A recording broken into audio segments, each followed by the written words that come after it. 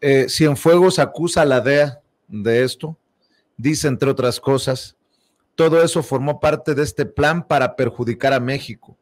No afectaron al secretario de Seguridad, afectaron a las Fuerzas Armadas, las ofendieron y agredieron al Estado mexicano, dice eh, el general en retiro Salvador Cienfuegos. Hay algunas novedades eh, interesantes, inéditas, vamos a decir, dentro de la entrevista a modo, que estoy de acuerdo, ¿no? Pero que hay unas entrevistas, hay unas, eh, perdón, hay unos datos, unas informaciones que parecen sacadas de, pues no sé, de, un sombrero, ¿no? Porque, eh, por ejemplo, me parece muy interesante que haya habido la, la, la información de que se fraguaba un golpe de Estado y que le dieron 10 millones de dólares, 10 millones de dólares a un secretario de ejército para que eh, trabajara en eso, ¿no? Eh, otro dato también. ¿Y, por parte de quién? El golpe. Nada más, nada más lo dice en, en generales, o sea, como una especulación.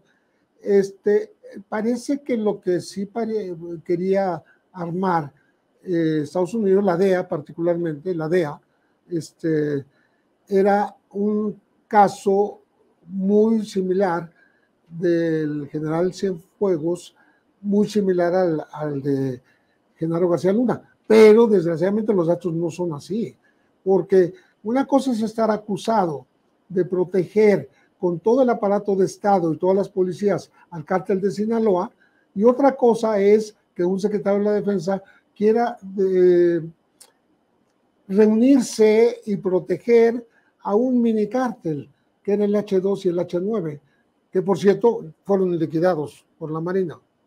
O sea, no, existen ni el H2 ni el H9, y sin embargo fueron, fueron este, liquidados por, por la Marina y eh, habrían sido mm, ubicados en tres ocasiones, por lo menos, el H2 y el H9, con El Salvador Cienfuegos. Una, eh, según Estados Unidos, eh, en una eh, gira con Andrés Manuel López Obrador en Hermosillo, ¿no? en una ceremonia conmemorativa, estaba en otra ocasión en, Piedras Negras, ¿no? develando una estatua, y tercero en Acapulco con empresarios. En ninguno de los tres fechas en que se menciona haberse reunido, en ninguna de las tres ocurrió. O sea, se demostró que no ocurrió. A, mí me parece que querían armar un, este, un juicio contra México, más allá de Genaro García Luna, más allá de Salvador Cienfuegos, y ligarlo con el Chapo Guzmán. O sea, como que un narco, un secretario del ejército, un militar y un jefe de policía, el más poderoso durante el tiempo de Calderón, eran lo mismo. ¿no? Me parece que eso quedó a deber en la acusación de Estados Unidos. ¿Por qué? Eh, porque Estados Unidos prefirió preservar las buenas relaciones, como un poco dice Paco, ¿no? que nunca un general va, va a ser este, cuatro eh, estrellas puesto, puesto enfrente del banquillo de los acusados, como no, no acusó este banquillo de los acusados, sino que este, tomaron a un caso menor del H2 y el H9, al Salvador Cienfuegos. O sea, quedó libre de polvo y paja.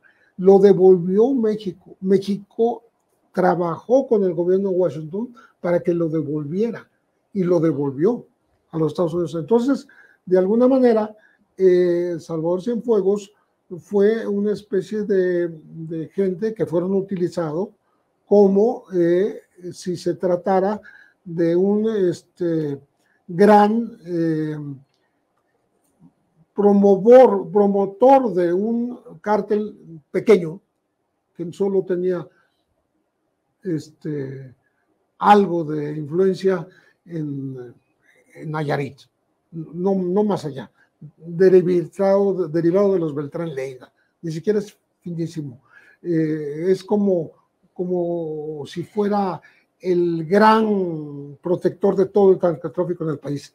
Yo no digo que no hablan este, varios generales, no nada más Salvador Cienfuegos, sino muchos otros, podrían haber sido eh, cobertura del narcotráfico en varios lugares, pero no hay una formal más que esa, una acusación formal y ninguna acusado, acusación formal en México.